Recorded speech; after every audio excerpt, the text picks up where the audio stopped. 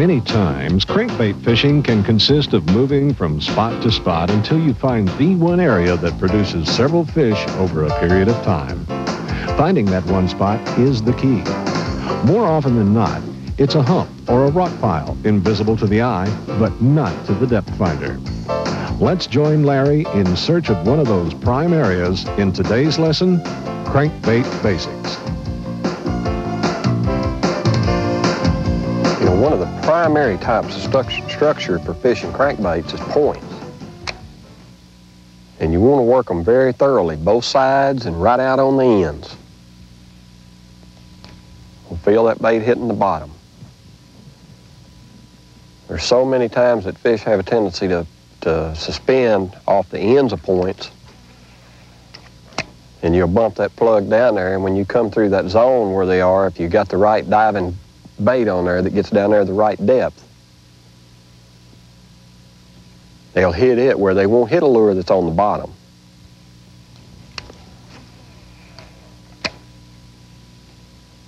The whole key to fishing crankbaits is figuring out the depth you want the bait to run. You know, do you need to get it down there 10 foot? Do you need to get it down there 4 to 8 foot? There's always little tricks to it.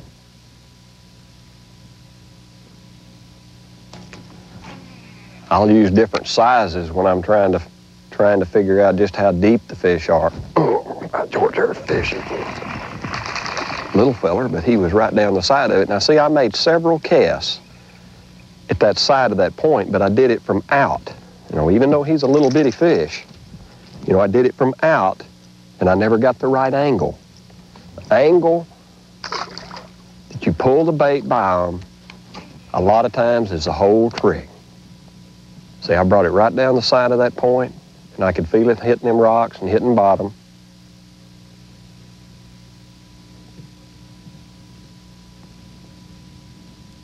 And bam, he got it. When fishing a crankbait, a prime area to fish is a point. The angle that your bait crosses the point can be critical, so fish the point thoroughly, casting from many different directions.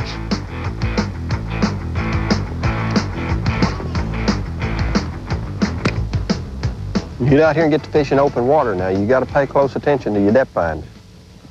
This type of fishing here is, I mean, if you know right where you're fishing, you don't really have to watch it that close, but when you're, when you're working an area that you've never fished before and you're trying to learn it, you really, oh, want to pay attention to that depth finder. He don't feel real big, but typical crankbait fish.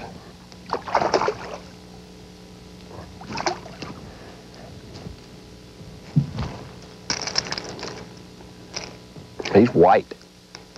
Cold water. Right down on the bottom.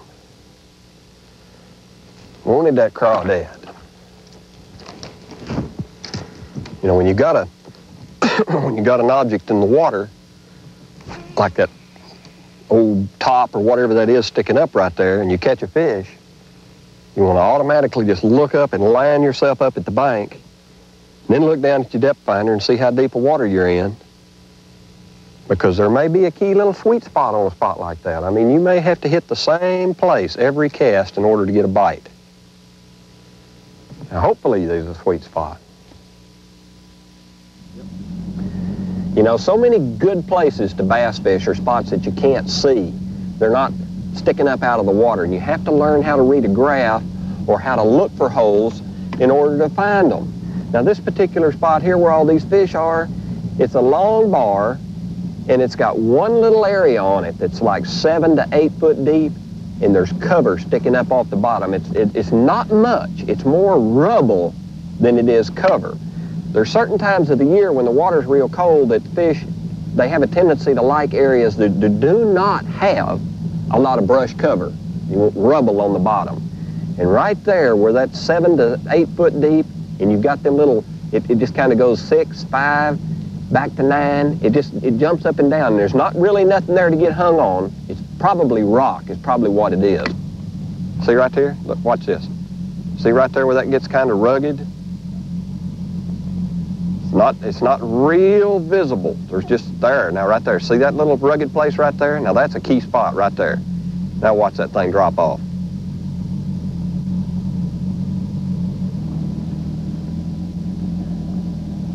And that's where, it's, you know, that's the type of place that you want to look for an early spring school of fish staging, getting ready to come in to spawn.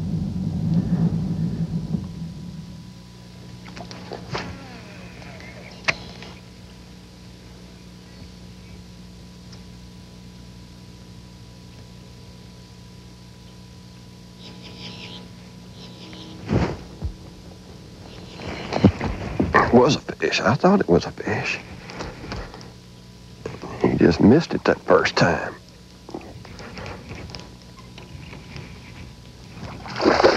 Whoa, pretty good fish. Pretty good fish. Come on up here. Ooh, I've only got him with that back hook, too.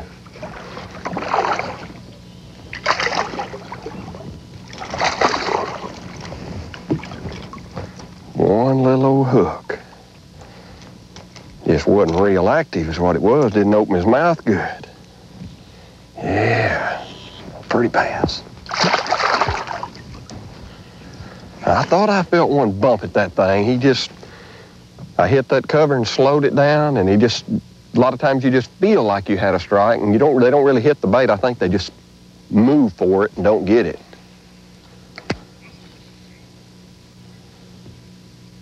Get it down there and get it to bumping that cover and slow her down. Pause every now and then.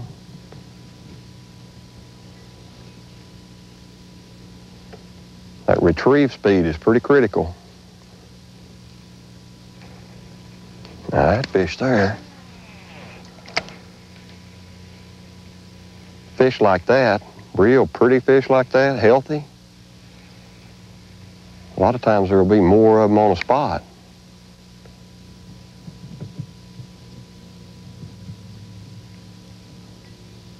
Make several casts to the same place. Not only that, but when I get done fishing it from this angle, I'm going to move around there and fish it from a different angle because every spot that I've ever found bass fishing always had a proper way to fish it. You could pull in and fish it from several different angles and not catch a fish, but if you knew the right cast in the right angle, you'd just get the fish to hit it. It's just like they set up on a piece of cover looking a certain direction. After finding a productive crankbait area, fish that area thoroughly, making numerous casts to the same spot, but from different directions. Once again, the angle of your bait crossing the area can many times be the key to catching fish. Oh, man. Was that ever a good opportunity? And he got it. Right at the boat.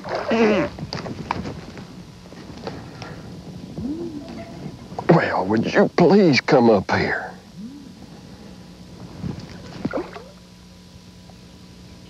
Come on up here. I want to go with him when he makes that run like that because you'll sure pull off there if you don't.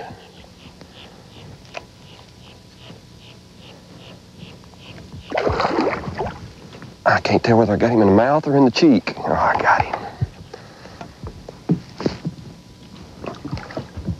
Look at the healthy of that fish. I mean, now that, when you catch them chunky like that, that normally means that it's a, a good school of fish. If you can ever hit it right,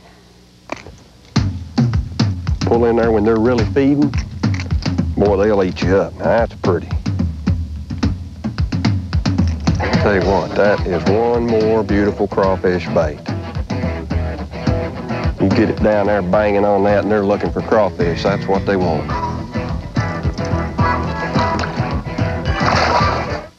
You know, sometimes you'll get your crankbait and it won't be running straight. It's, it, it just won't run true. Before you get your pliers and start bending on the front eye, check your hook hangers. Because if you hit a rock or something with your lure or the side of the boat and you bend one of these hook hangers over to the side, sometimes that'll cause it to run uh, off to one side and it won't be the front. But if your hook hangers are all straight and your O-rings are not uh, getting in a bind, then take your needle nose and tune it with the front eye. If it's running left, bend it a little bit to the right. Same thing if it's running to the right, bend it a little way to the left. Don't bend it too much because it don't take much to make a crankbait run true.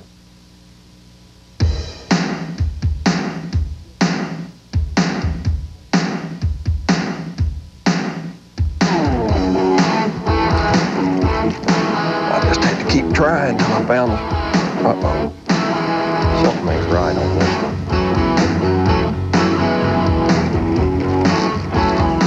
I know it's a fish, something ain't right. Look at here now. This is what you call bass fish making pass at my lure. And if he ever takes off, I'm gonna lose him because I have got him right smooth in the tail.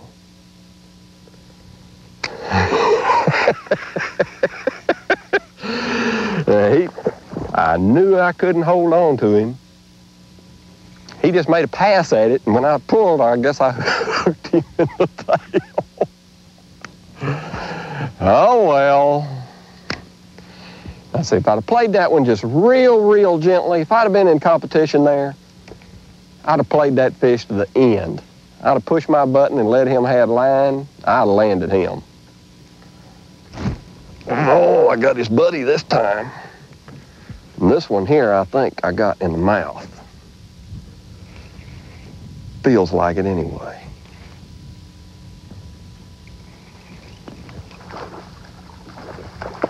Yeah, that's a little better catch here. He had better aim. Better aim.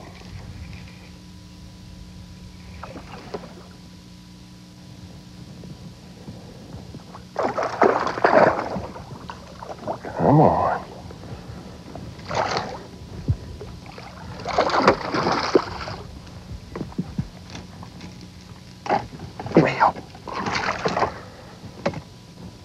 I see that's a school of fish. They're all about the same size, every one of them.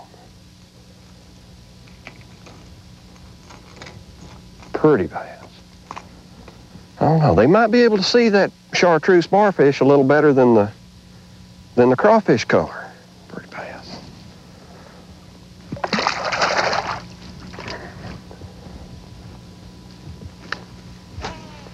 If I can hit that little spot out there, I can get a bite.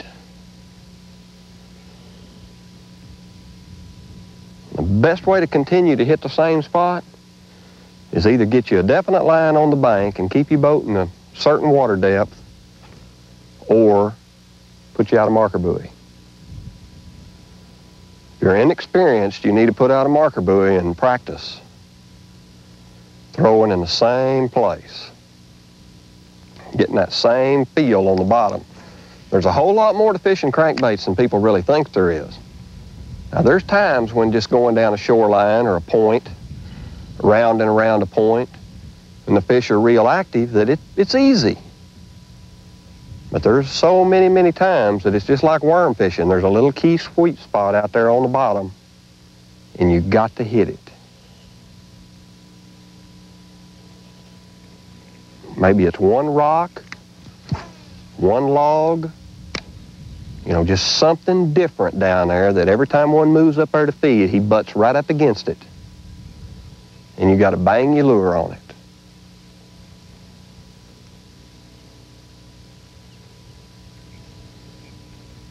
I mean, this is not a school of fish right here that very many people will find. Missed one right there, just took a pass at it. Not a whole lot of people will find this type of place because it's so small and you have to spend a little time on your locator to find these type of places. And not only that, casting. You can idle around out there and see all kinds of things on electronics nowadays that look good, but you got to spend some time casting to find the right spot. Being able to consistently cast to the same spot in open water is something a bass fisherman must learn to do. Bait presentation can be critical. The easiest method to use is to place a marker buoy on your target and use that as a reference. For more experienced anglers, the alignment of shoreline objects with your boat can replace the use of a marker buoy. Either way, being able to accurately hit your target consistently in open water is a must. Larry has found a key ridge where the water depth falls from nearly one foot down to 20 feet. Larry has positioned his boat to cast parallel to this ridge.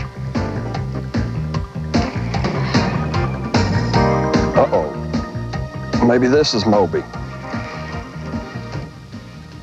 Oh, he's coming up. Good job.